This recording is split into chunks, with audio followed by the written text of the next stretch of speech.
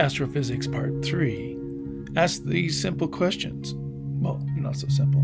Are there other Earths out there? Are there other stars that have a, a nice little blue planet orbiting around it that might be like ours? I don't know.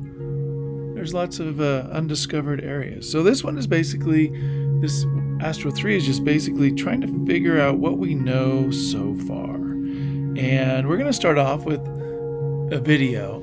And the first part of this video, it's a 20 minute video, 20, well, it says 30 or something like that on it.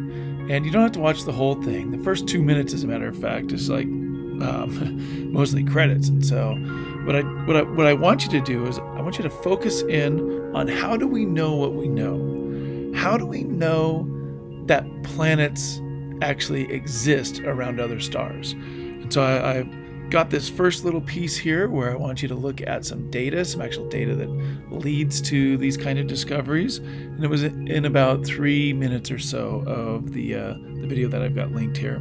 And then I just want you to kind of skim scan through and are there other methods to find out if there's planets out there? So find a couple and describe what you found. The second part is well, we have found something. We'll go back to here. As it loads, didn't know needed to load again, but uh, we do have this thing called TESS, T-E-S-S, um, that is finding Earth-like planets, and there's one in particular that I want you to look out, look at. And by the way, this piece right here, this YouTube video, uh, I believe is just an ex- excerpt from the longer one so if you if you, want to watch this one, that's fine too.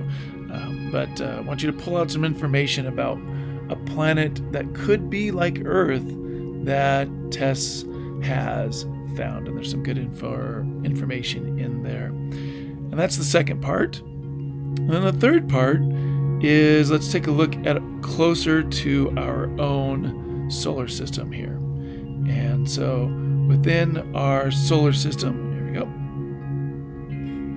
this is a website uh, about the New Horizons space probe. You can see it up here in the corner, New Horizons, and it is uh, has been sent out to look at objects in the Kuiper Belt. And so, the third part of this assignment this week is I want you to learn just a little bit about Pluto and the Kuiper Belt and other objects. So, uh, this is uh, some fun stuff, I think it grabs your imagination and makes you wonder about what we know.